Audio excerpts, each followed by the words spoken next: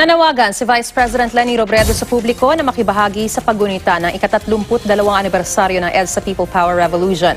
Ayon kay Robredo, napapanahon ito dahil tila nakalimutan na ang mga aral mula sa People Power. Si Robredo ang mangunguna sa paggunita sa People Power Revolution sa Naga City, Camarines Sur bukas. Magkakaroon ng misa at iba't ibang aktibidad. Sana raw magsuot ng puti ang mga dadalo. Magkakaroon din ng mga pagdiriwang sa Pampanga, Pangasinan, Cebu, Quezon Province at Siargao.